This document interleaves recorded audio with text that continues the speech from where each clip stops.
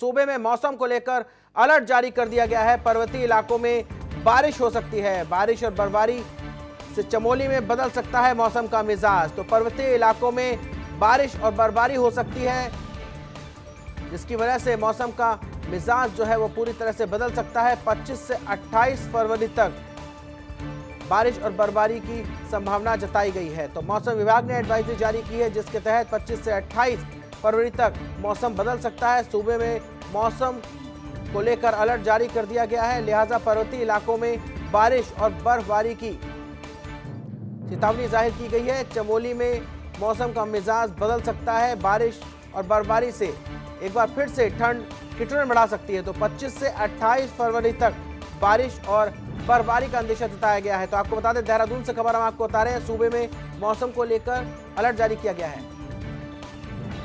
मामले में ज़्यादा जानकारी के लिए हमारे संवाददाता नवीन पांडे हमसे जुड़ गए हैं। नवीन, आपसे जानना चाहेंगे, एक तरफ़ पहले से ही कोहरे का कहर और ठंड की ठिठुरन थी, लिहाजा अब एक बार फिर से अलर्ट जारी किया गया है, जिसके तहत बारिश और बर्फबारी की संभावना जताई जा रही है। लिहाजा इसको लेकर क्या एहतियात के इंतज़ाम करने के लिए कहा गया है? जी, बिल्कुल राहुल, आपको बता दूँ कि मौसम एक बार फिर करवट बदल रहा है उत्तराखंड में। और खास खास तौर पे एक ऊंचाई वाले इलाकों में बर्फबारी और बारिश की संभावना जताई गई है। मौसम विभाग ने जो फोरकास्ट किया, उससे एक चिंता की बात ये आ गई है कि जो चमोली जहाँ पे आपदा हुई है, वहाँ पे भी मौसम जो है खराब होगा और वहाँ भी बारिश और बर्फबारी हो सकती है।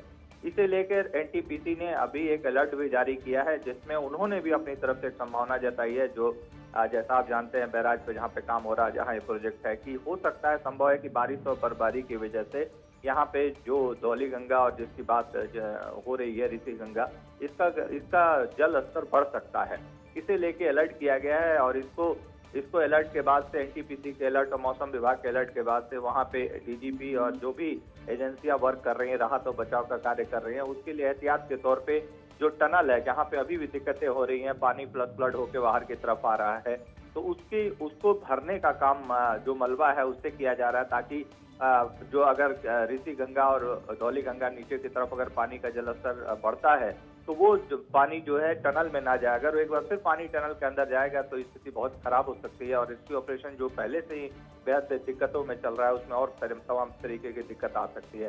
तो उसको मलबे से ढक के रोकने की कोशिश की जा रही है। आप, या आप यूँ कह सकते हैं कि जो नदी का जो लेवल है उसको उसको किसी तरीके से बांधने की कोशिश की जा रही है कि अगर आ, नदी का लेवल बढ़ता है तो उसको वहीं पे रोका जाए ताकि किसी तरीके के रेस्क्यू में दिक्कत ना आए। लेकिन सामान्य तौर पर अगर रेस्क्यू की बात करें और जिस तरीके का फोरकास्ट है अगर वो संभावना होती है इस तरीके के निश्चित तौर पे आने वाले समय में दिक्कतों का सामना करना पड़ सकता है। चमोली को लेकर खास तौर पे बाकी पिथौरागढ़ चमोली और जो पर्वतीय ज़िले हैं उसमें बारिश और बर्फबारी की संभावना बनी हुई है। जी राहुल।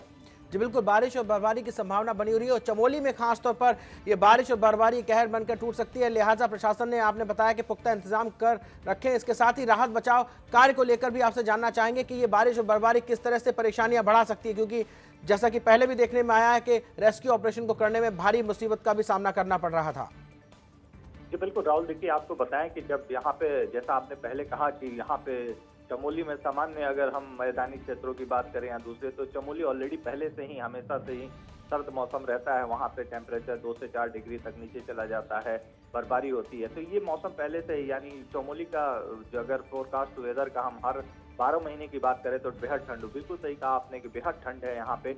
और अगर ये बारिश होती है तो रेस्क्यू और बचाव कार्य निश्चित तौर पे जारी है। एनडीआरएफ एसडीआरएफ जैसा आप जानते हैं, एजेंसियाँ सभी तरीके की लगी हुई एयरफोर्स सेना तक भी लगी है। सेना ने आज एक ब्रिज बनाने की भी रैनी गाँव को ले जाने के लिए जो लोग हैं, उनके लिए ब्रिज भी बनाया बनाया है ताकि अस्थायी तौर पर ले जाए। लेकिन निश्चित तौर पर बारिश अगर होती है और बर्फबारी होती है तो ये स्थिति काफ़ी दिक्कतों वाला सामना कर कर सकता करना पड़ सकता है।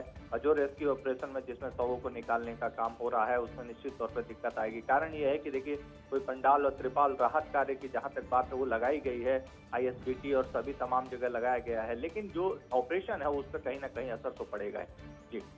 जी बिल्कुल आपने सही फरमाया, इसके साथ ही बारिश बर्फबारी स्थानीय लोगों के लिए दहशत का भी सबब बनी हुई है। लिहाजा क्योंकि जिस तरह से सैलाब आया और जलजला जो था, वो कई लोगों को अपने मौत बहा कर ले गया और मौत के आगोश में लेकर के गया। लिहाजा इसको देखते हुए स्थानीय लोगों से क्या कुछ अपील की जा रही है? और जैसा कि मौसम विभाग भी रेड कार्ड और इसके साथ येलो कार्ड भी जारी करता है तो क्या इसके लिए देखते हुए भी क्या कोई कार्ड भी जारी किया गया और स्थानीय लोगों के लिए अलग से एडवाइजरी जारी की गई है?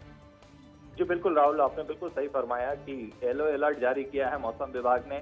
और जैसा मैंने बताया कि एनटीपीसी ने भी अलर्ट जारी करके और पूरा आसपास के गाँवों को सबको अलर्ट कर दिया है।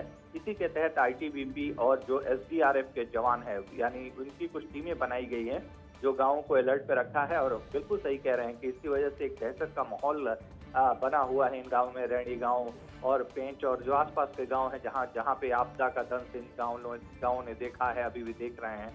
इनको डर है तो स्थिति ऐसी हो सकती है संभव है। हालाँकि अभी अपडेट ऐसा नहीं आया है, लेकिन ये संभव है कि अगर ज़्यादा एक एक आध दिन के अंदर मौसम का पश्चिमी विक्षोभ ये जो आ रही है वेस्टर्न डिस्टर्बेंस है जो आ रहा है, अगर ये ज़्यादा सक्रिय हुआ तो इसको कहीं ना कहीं हो सकता है कि निचले इलाके में जो लोग रह रहे हैं, उन्हें वहाँ से लेके और कहीं ऊंचाई वाले इलाकों में लाया जा सकता है। जी। जी नवीन, बिल्कुल सटीक जानकारी की पश्चिमी जो जो है, उसकी वजह से ये मौसम विभाग अचानक से बदल सकता है। आप लगातार हमारे साथ बने रहेंगे, आपसे आगे भी जानकारी लेते रहेंगे।